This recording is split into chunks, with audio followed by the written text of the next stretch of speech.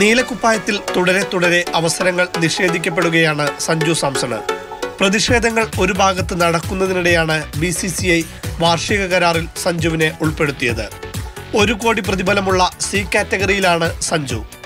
Wicket കീപ്പിംഗിൽ സഞ്ജുവിന് ഭീഷണിയായേക്കാവുന്ന ഉപനായകൻ കൂടിയായ കെ എൽ രാഹുലിനെ എ കാറ്റഗറിയിൽ നിന്ന് ബിയിലേക്ക് തരം താഴ്ത്തിയതുകൂടി ഇതോടൊപ്പം ചേർത്ത് വെക്കണം ലോകകപ്പ് വർഷം കണക്കിലെടുത്ത് സഞ്ജുവിനെ ടീമിൽ ഉൾപ്പെടുത്താനാണോ? അതോ സഞ്ജു ആരാധകരുടെ സോഷ്യൽ മീഡിയ പ്രതിഷേധം തണുപ്പിക്കാനാണോ? ബി സി സി ഐയുടെ ഈ കരാർ തന്ത്രം കാത്തിരുന്നു തന്നെ കാണണം. പ്രത്യേകിച്ച് ഓസ്ട്രേലിയക്കെതിരെ സഞ്ജുവിനെ ടീമിൽ ഉൾപ്പെടുത്താതിരുന്ന സാഹചര്യത്തിൽ. ഓസീസിനെതിരായ ഏകദിന പരമ്പരയിൽ സൂര്യകുമാർ യാദവ് സമ്പൂർണ പരാജയമായിരുന്നു. തുടർച്ചയായ മൂന്ന് മത്സരത്തിലും ഗോൾഡൻ ഡെക്ക്. ശ്രേയസ് അയ്യർ പരിക്കേറ്റ് പുറത്താവുക കൂടി ചെയ്തതോടെ നാലാം നമ്പറിൽ വീണ്ടും സഞ്ജുവിനായി മുറവിളി ഉയർന്നു ഏകദിനത്തിൽ സഞ്ജുവിന് മികച്ച റെക്കോർഡുണ്ട്. പത്ത് ഇന്നിങ്സുകളിൽ നിന്നായി മുന്നൂറ്റി മുപ്പത് റൺസ്. അതിൽ അഞ്ച് തവണ നോട്ട് ഔട്ട് അറുപത്തിയാറ് റൺസ് ശരാശരി. ഏകദിനത്തിൽ സഞ്ജുവിന്റെ പകുതി ശരാശരി പോലും സൂര്യക്കില്ല